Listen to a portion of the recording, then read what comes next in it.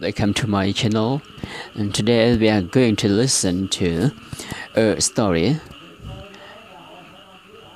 The thirsty crow one hot day a thirsty crow flew all over the fields looking for water. For a long time it could not find any. It felt very weak almost giving up hope.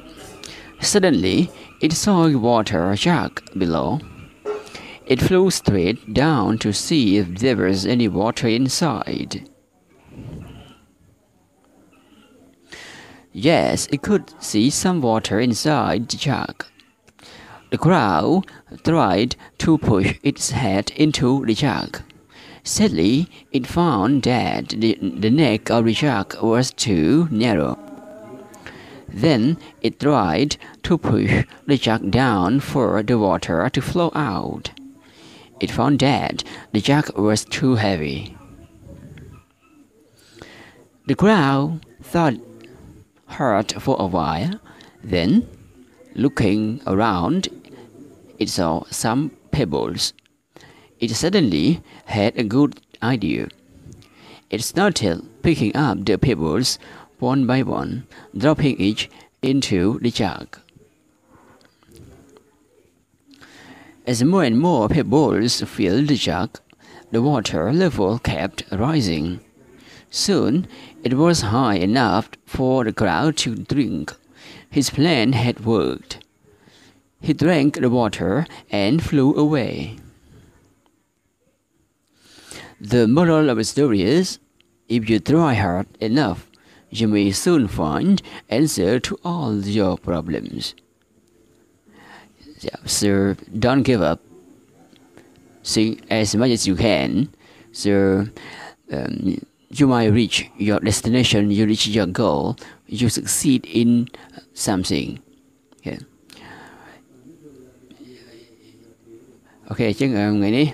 bà dương riêng riêng mũi bà cứ riêng ờ, sạch cái ai vâng.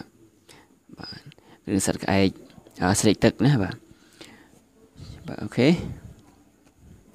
អញ្ចឹងមុននឹងយើងស្ដាប់ម្ដងទៀត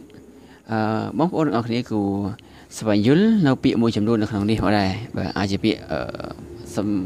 ពិបាកឬក៏ថ្មីសម្រាប់បងប្អូនសិស្សានុសិស្សទាំងអស់ពាក្យទី1គឺពាក្យថា look for OK បាទ look for មានន័យថាស្វែងរកបាទ look for something look for somebody គឺស្វែងរកណាម្នាក់ស្វែងរកអ្វីមួយណា OK បាទ look for ពាក្យនេះគឺពាក្យថា give up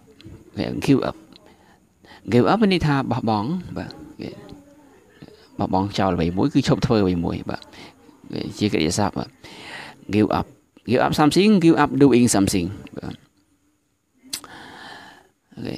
អឺពាក្យនេះគឺពាក្យថា water jug OK water jug គឺក្អមបាទគឺក្អមទឹកណាបាទ cái water jug គេក្អមទឹកអូខេពាក្យមួយទៀតគឺពាក្យថា narrow គេ narrow គេ narrow មានន័យថាចង្អៀតបាទគេមានចង្អៀតអូខេបាទ narrow ពាក្យមួយទៀតគឺពាក្យថា pebble pebble មានន័យថាក្របគ្រោះបាទបងប្អូនស្គាល់ក្របគ្រោះទេបាទអូខេ គប់គ្រោះអញ្ចឹងបាទវាគឺជាប្រភេទដីមួយយ៉ាងដែលរឹងដូចជាស្តៀងថ្មដែរអូខេបាទបងប្អូនគេ pebble បាទតោះឥឡូវយើងបាទបងប្អូនអាចស្ដាប់ស្ដាប់ម្ដងទៀតហើយបន្ទាប់មកបងប្អូននឹងងាកមក ស្ដាប់រឿងនេះជាភាសាខ្មែរវិញម្ដងអូខេ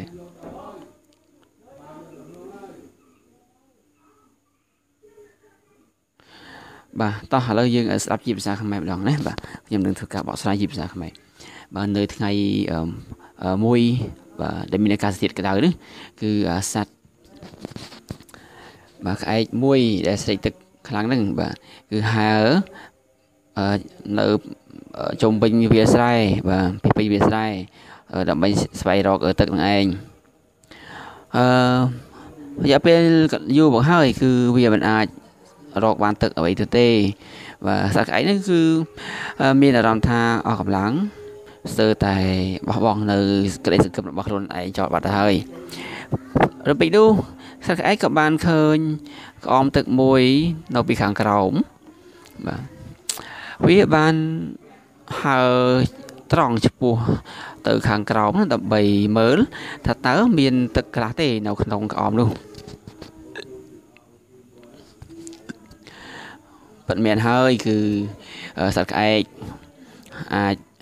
បាទបានបានឃើញទឹកមួយចំនួនដែរនៅក្នុងក្អមសត្វក្អែកព្យាយាមបាទព្យាយាមរុញឈ្មោលក្បាលរបស់ខ្លួនចូលទៅក្នុងក្អមបាទបាទជាអកុសលមែនទែនគឺក្អែកគឺឃើញថាអឺក្អមហ្នឹងបាទគឺមានកហ្នឹងដែល មានកក្អមហ្នឹងគឺអឺលក្ខណៈតូចចៀតបាទគឺកក្អមតូចចៀតអញ្ចឹងហើយបានជាសត្វក្អែកព្យាយាមបាទអឺរុញបាទរុញក្អមហ្នឹងឲ្យវាក្លាប់ចុះមកក្រោមក្លាប់ផ្ងាក្លាប់មកក្រោមវិញដើម្បីឲ្យទឹកនេះវាហូរចេញមកក្រៅវាឃើញថាក្អមនេះគឺវាធ្ងន់ពេកបាទសត្វក្អែក បាទបានគិតនឹងបាទគិតសាញ់ជឹងយ៉ាងខ្លាំងក្នុងរយៈពេលខ្លីមួយហ្នឹងបាទមួយសបកហ្នឹងបន្ទាប់មកអឺក្អែកចេះតែមើលជុំវិញខ្លួន ហើយក្អែកក៏បានឃើញក្របគ្រោះបាទគឺដុំគ្រោះអឺភ្លាមនោះក្អែកហ្នឹងក៏បានក៏គិតឃើញគំនិតល្អមួយក្អែកចាប់ដើមរើសក្របគ្រោះអឺ ដាក់ម្ដងមួយម្ដងមួយហ្នឹងគឺទម្លាក់ចូលទៅក្នុងក្អមទឹកនោះឯងនៅពេលដែលក្របគ្រោះកាន់តែច្រើនទៅច្រើនទៅ គឺវាធ្លាក់ចូលក្នុងក្អមពេញនៅក្នុងក្អមហ្នឹងអញ្ចឹងកម្រិតទឹកហ្នឹងគឺវាកើនឡើងបាទចេះកើនឡើងទៅបាទហើយមិនយូរប្រហែលទេអឺ កម្រិតទឹកហ្នឹងគឺវាខ្ពស់ល្មមអាចឲ្យសត្វក្អែកយើងហ្នឹងអាចផឹកទឹកបានអញ្ចឹងផែនការរបស់សត្វក្អែកគឺមានប្រសិទ្ធភាពហើយបាទល្អមែនទែនអញ្ចឹងក្អែកគឺបានផឹកទឹកហើយក៏បានហើរទៅបាត់ទៅឆ្ងាយវិញទៅបាទអញ្ចឹងនៅក្នុងរឿងនេះគឺមានរឿងមានកំណត់អប់រំមួយសំខាន់មែនទែនបាទ If you try hard enough you may soon find answer to all your problems ប្រសិនបើអ្នកជាជាមខតខំប្រឹងប្រែងអឺបាទតស៊ូឲ្យបានមុតមមនោះគ្រប់គ្រាន់ល្មមហ្នឹងគឺអ្នកបាទនឹងស្វែងរកនៅដំណោះស្រាយគ្រប់បញ្ហាទាំងអស់ភ្លាមភ្លាមបាទមិនយូរប៉ុន្មាននោះទេអូខេ ដូច្នេះធម្មតាជីវិតនោះយើងនៅក្នុងសកម្មភាពនៅក្នុងការងារអ្វីក៏ដោយនៅក្នុងកិច្ចការអ្វីក៏ដោយច្បាស់ណាស់គឺវាមានបញ្ហានៅក្នុងនោះជៀសមិនផុតជៀសមិនផុតឡើយអញ្ចឹងបញ្ហាមានតូចបញ្ហាមានមធ្យមបញ្ហាមានធំបាទបញ្ហាកម្រិតណាក៏ដោយអូខេគឺទៀមទីនៅការព្យាយាមបណ្ដោះដៃបាទ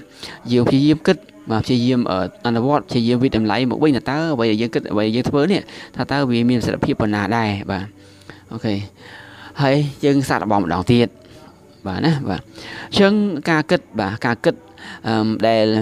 បាទដែលมันមានទីបញ្ចប់នោះដើម្បីស្វែងរកដំណោះស្រាយនោះគឺច្បាស់ណាស់គឺត្រូវតែមាន បាទត្រូវតែមានដំណោះស្រាយត្រូវតែអាចដោះស្រាយបញ្ហាអ្វីមួយនឹងបានបាទ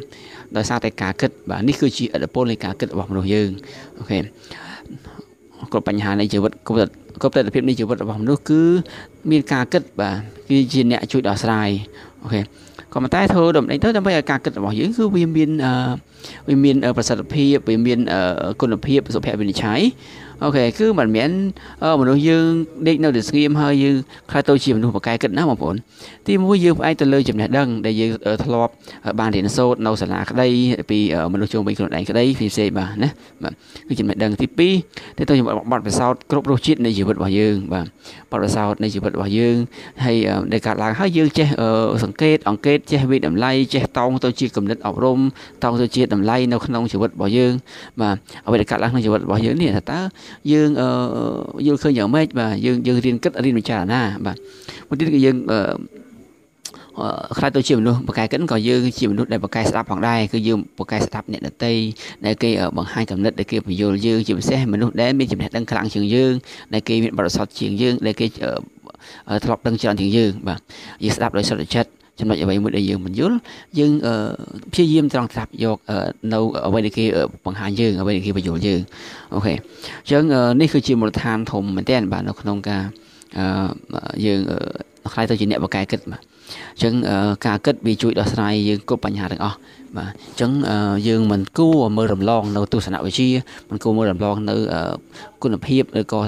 ឥទ្ធិពលនៃការគិតនោះឡើយបាទអញ្ចឹងអឺ OK បាទរឿងយើងមានប៉ុណ្ណឹងបាទហើយបងប្អូនមានអ្វីចង់ comment comment ចូលមកបាទមានជាមតិអ្វីថ្មីចង់បន្ថែមអាចបន្ថែមបានផងដែរបាទ OK បាទបើសិនជាចូលចិត្ត live មួយបាទហើយបើសិនជាចង់ share ចែករំលែកបាទ share មួយបាទ OK បងប្អូនមិនទាន់បាន subscribe បាទចុចពាក្យថា subscribe ដែលនៅលើសញ្ញាពណ៌ក្រហមហ្នឹងបាទ OK ហើយយកសញ្ញាជួងបាទដែល get notification ហ្នឹងឯង OK